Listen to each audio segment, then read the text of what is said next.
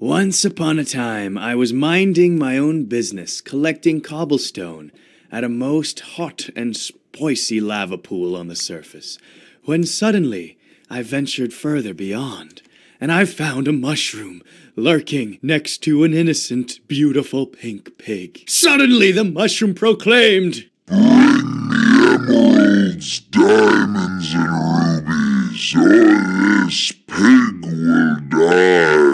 And so, for the sake of this beautiful pink pig's well being, I ventured far and wide, for the pig's life depended on me.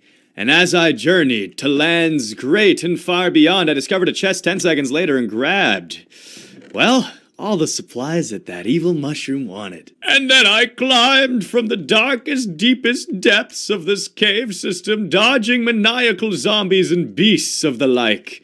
Well, just one tiny little lad. And I went all the way across back to the mushroom. And you know what he said? Great job, plebeian. And bang! Suddenly, with a flash of light, a portal had appeared before my eyes.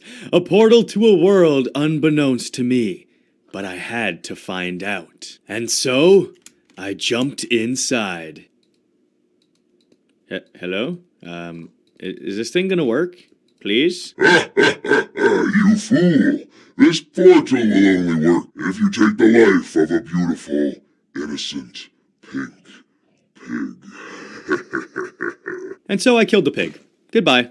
Farewell. And deposited his meat into the portal to teleport into a new world.